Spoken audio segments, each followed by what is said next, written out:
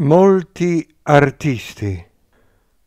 Ho letto che Victor Hugo, 1802-1885, l'autore di Hernani e Il Re si diverte, fu contagiato dalla moda del nuovo spiritualismo e dedicò molto tempo al fenomeno medianico, quando era esule nell'isola di Jersey in seguito all'ascesa al trono di Napoleone III.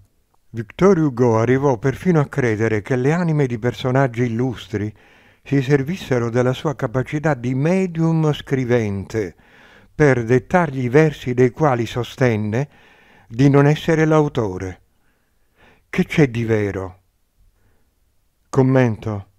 Molti artisti frequentano anche inconsapevolmente la medianità grazie alla loro capacità visionaria di accedere ai piani superiori di esistenza.